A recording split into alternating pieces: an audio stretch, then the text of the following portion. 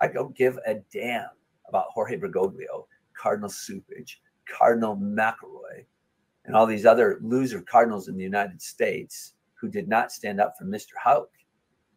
Uh, no, they've got nothing to teach any of us. They can't. They can't die off soon enough. God can't smite them soon enough. Every damned one of them who did not stick up for the Catholic Church and the Catholic faithful during this fear demic, you can all burn in hell by your own choosing. And the sooner the better before you lead other souls astray. I'll say it and I'll say it again and I'll say it again and I will not stop saying it.